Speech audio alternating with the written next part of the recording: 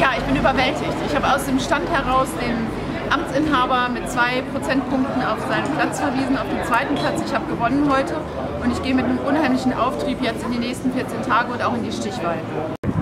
Katrin Brenner ist gegen den amtierenden Bürgermeister angetreten und sie hat aus dem Stand den Vorsprung geschafft. Das ist heute die beste Ausgangslage, die man sich wünschen kann für eine Stichwahl. Jetzt geht es noch mal zwei Wochen Wahlkampf zu machen und zwar diejenigen, die heute noch nicht gewählt haben oder die noch nicht überzeugten, jetzt zu mobilisieren.